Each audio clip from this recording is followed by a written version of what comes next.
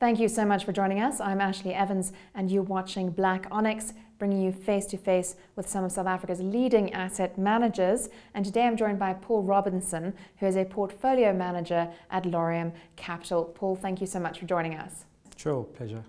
Where are you seeing the most interesting opportunities on the continent? So, from a both a growth point of view and a valuation point of view, we think Egypt looks particularly attractive right now.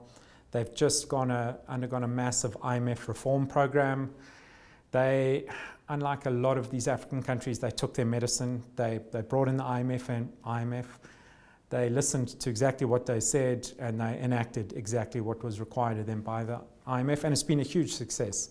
I think Egypt's going to be, uh, right now, if IMF was to have a poster child to show exactly what they can do when they come into a country, Egypt would be it. Um, so you've got strong GDP growth, you've got company earnings that are growing kind of in the, in the mid-teens towards the 20%, and valuations are still lower than they have been on average over the last seven years or so. So we like Egypt. We like the mid and small cap space in Morocco. Morocco generally is quite overvalued at the moment.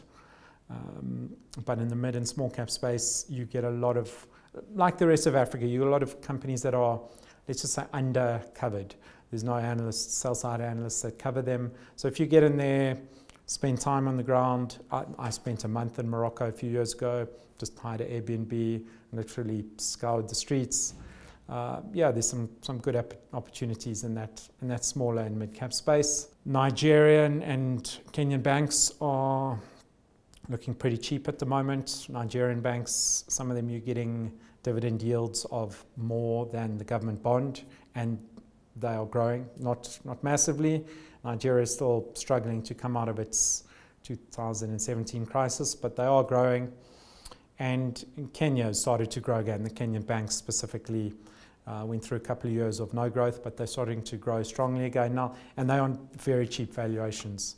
Again, kind of cheaper than they have been in, in the last decade. And then I think uh, another place where we are seeing it's not it's not equities, uh, but fixed income is also a growing space, and there's some interesting opportunities in Africa. Uh, just a couple of stats, for example, the sovereign dollar bonds in Africa, euro bonds. In 2006, there was one, there was 500 million dollars total outstanding. There's now about 100 billion dollars. So from half a billion dollars to about 100 billion dollars if you include the supranationals, the likes of African Development Bank. So you've seen strong growth on that side. And then right now we're seeing some interesting opportunities in local currency fixed income, uh, Nigeria and Egypt specifically. So yeah, those are the things we, we're most excited about.